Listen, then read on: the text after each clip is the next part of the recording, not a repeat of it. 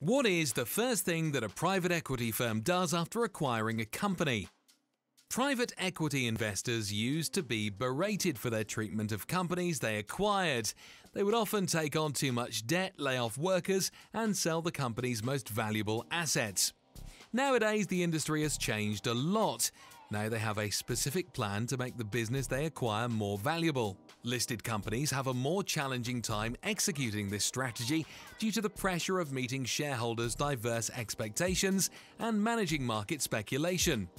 The most essential point to remember is that today's private equity firms aim to improve a firm's value via strategic and operational improvements.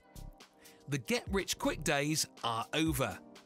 The truth is that private equity firms won't be able to make returns simply by cutting costs anymore, because today's market valuations are already high.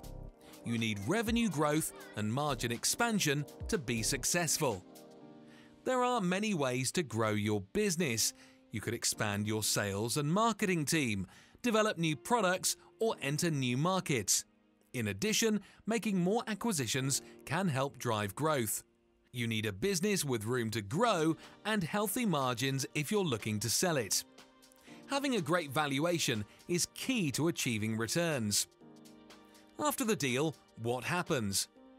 Private equity firms leave almost nothing to chance when agreeing to a takeover deal. Typically, they will have spent months researching a company, consulting with industry experts, and doing comprehensive due diligence, so they have a clear plan for what they want to do once the sale is finalized. The first few months are very important. This is a common thought process within private equity. The first 100. The 100 day plan is designed to achieve maximum impact as quickly as possible. The top of the priority list is usually dealing with issues discovered during due diligence. Getting the appropriate reporting in place quickly is equally critical. To move the business forward, PE firms need to track how performance drivers are doing. After that, then come the bigger strategic issues. This might involve making new hires or shutting down non-essential operations. It might also involve testing and fine-tuning the ideas generated throughout the research and investigation process. Capital and experience. Access to capital is a key weapon in the private equity arsenal. This is especially significant for little firms that may be restricted in their strategic alternatives due to a lack of capital. Some shareholders may not be able to provide more money, and on their own, smaller firms may not be able to get bank financing that would be beneficial. Buy and build. The buy and build method is a strategy used quite frequently by private equity firms. This method involves buying an existing company and then growing it through strategic acquisitions. To put it simply, it involves acquiring a small or medium sized business, expanding it through further acquisitions, and improving operations as you go. The larger business may, for example, be able to offer a wider range of products to more people or negotiate better supplier terms. Independently operated small businesses may not have the ability to expand using this model. It's not only about cash, it's also about having the knowledge. Private equity firms have sold businesses countless times, but most small companies have not experienced this process. After a private equity firm acquires your company, what will it do? Here are six things to know. 1. The PE firm wants the founder to stay with the company after the sale. They'll want the founder to stay because they know they can grow and develop the company. In many cases, PE firms include earnouts as part of their deals with you. This means that the founder's compensation from the sale of the company is tied to its continued performance. Just bear in mind, if you sell your company to a PE firm, you will need to stay on as an employee. So put that yacht order on hold. 2. You will be fired or leave. Sounds odd, but it's important to keep in mind that at some point you will likely be fired or leave the company on your own accord. This is due to conservative environments like banks not mixing well with entrepreneurial behavior, like aggressive decision making and calculated risk taking. They make their selections based on thorough information, spreadsheets, and analytics. This can be incredibly frustrating for entrepreneurs who know their business intimately and make decisions on feel. It might take up to a year for constrictions and tensions to arise between both parties. That is why so many of these entrepreneurs decide to leave or be terminated before then. 3. Got debt? When a private equity firm takes control of a company, it will often add debt to it. A large amount of debt, often around 4 to 5 times EBITDA.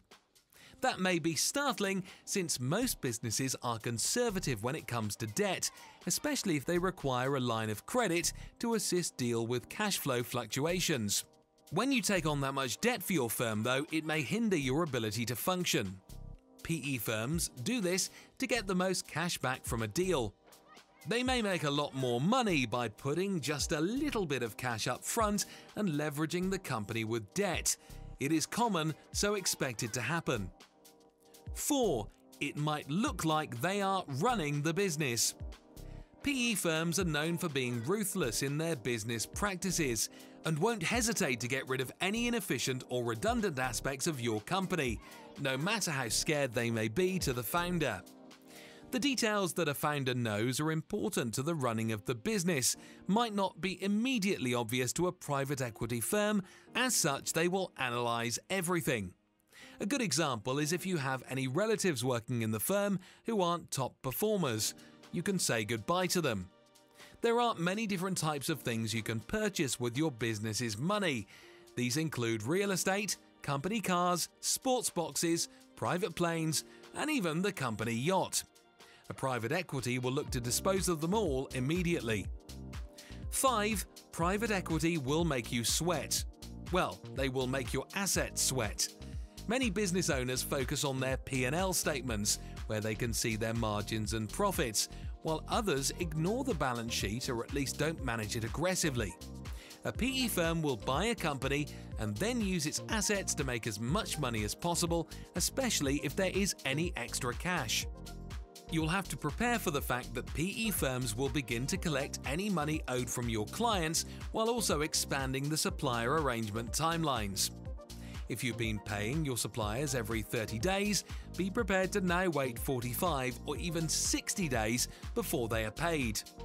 The PE firm will also work hard to sell any inventory you have and turn your assets like buildings or machinery into cash. Also, since they are not in it for the money but instead to build equity, most entrepreneurs would rather you lease than purchase their company. As a result of this, they would want you to lease rather than purchase your firm, so as to maximize revenues over time. 6. PE firms will also pay themselves. Private equity firms pay themselves with profits that are not from the company. They do it by utilizing any extra cash they can generate from the business. Another important cause for PE firms to prefer cash is that the sooner they can get the funds out of their firm, the more time they will have to play with their own money. Look at it like this if a PE firm puts in $15 million into an acquisition, after extracting $15 million in cash, the returns from when they sell the business are much higher. That is why they will put a lot of debt on the company, as you can minimize how much cash you need to invest to get the most rewards possible. Remember, PE firms are not the devil, it's just the nature of their company and industry. The best businesses find a balance between making money and all of the other factors involved in running the company. But remember one thing they are there for the money, not the interests of your business. So, before selling to a private equity firm, be cautious and put yourself in their shoes. Find a buyer who will maintain equilibrium between the company's requirements and their personal profit. It might be rare, but they exist.